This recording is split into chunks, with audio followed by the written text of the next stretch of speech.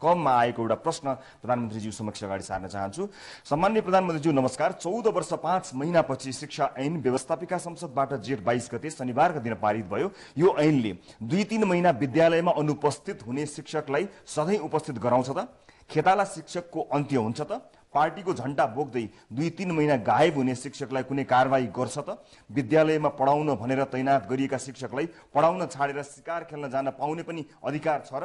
कि त यी सबै कि त यी सबै नै शिक्षाको विकेन्द्रित नीतिभित्र पर्छन्? प्रधानमन्त्रीज्यू कतै जति जोगी आए पनि कानै चिरिएका भन्ने उखानले नै स्थान पाउने त होइन? धर्मराज तिमल सिन्हाजीले बाजुराबाट सोध्नुभएको प्रश्न।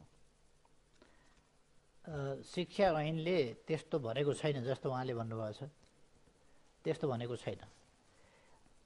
मुख्य कुरा हाम्रो शिक्षालाई जीवन उपयोगी बनाउनु पर्यो प्रतिस्पर्धी बनाउनु पर्यो गुणस्तरीय बनाउनु पर्यो र व्यवहारिक जीवनमा काम लाग्ने स्वरोजगार उत्पन्न गर्न सक्ने अथवा रोजगारीका निम्ति जहाँ पनि ऊ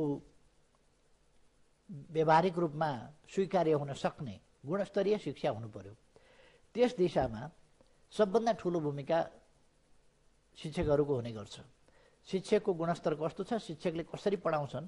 त्यस आधारमा नै विद्यार्थीहरूको गुणस्तर हुन्छ। त्यसर्थ गुणस्तरमा कुनै सम्झौता गर्न सकिँदैन। यसर्थ हामीले स्वाभाविक रूपमा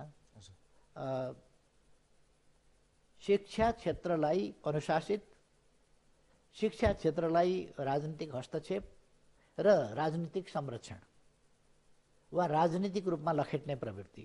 यो सबै कुराहरूलाई अन्त्य गर्नुपर्छ र शिक्षालाई शिक्षाको रूपमा जिम्मेवारीपूर्ण ढङ्गले उठाउनुपर्छ र आफ्नो मान्छे नियुक्त गर्ने खालका परिपाटीभन्दा योग्य र सक्षम शिक्षक नियुक्त गर्ने राम्रो व्यवस्थापन सञ्चालन गर्ने गर्नुपर्छ। हामी देखिरहेका छौँ अहिले पनि विद्यालयको व्यवस्थापन समितिको निर्वाचनमा गोली चल्छ।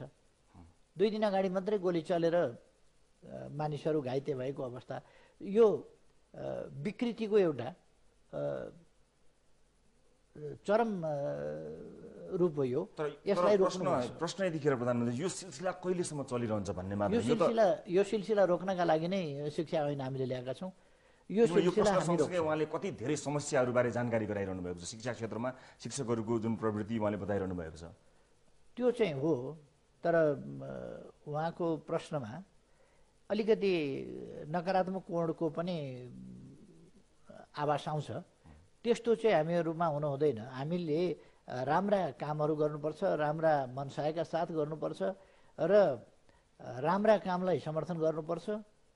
अहिलेको सरकारले विकृतिहरूलाई प्रोत्साहित गर्ने होइन। तिनलाई अस्वीकार र नियन्त्रण गर्ने। त्यो दिशामा गएको छ भन्ने कुरा त जोसुकैले पनि देख्न सक्छ। त्यसकारण सरकारका यी कदममा